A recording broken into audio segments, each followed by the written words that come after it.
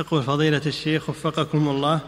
إذا كان موضع قضاء الحاجة موضوعا تجاه القبلة فما العمل في هذا؟